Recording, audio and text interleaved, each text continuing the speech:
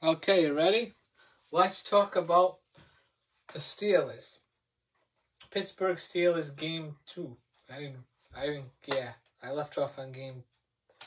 Oh, I gotta watch game three next, but game two, Steelers versus Cowboys, January eighteenth, nineteen seventy six. Wow, I was wrong.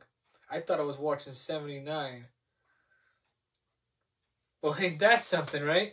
Well, let's just say, maybe I'm wrong, but if I'm wrong, people will know which one I'm talking about because they have the set.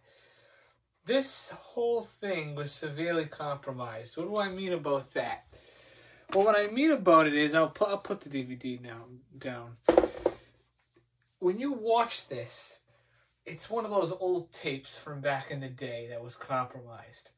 Um, what I don't get is why all these sports like NFL, MLB, NBA, why didn't they try to um to, to uh, resurrect some of these tapes or at least try to keep them from falling apart? They had all these. They probably have a vault. They keep all their tapes in.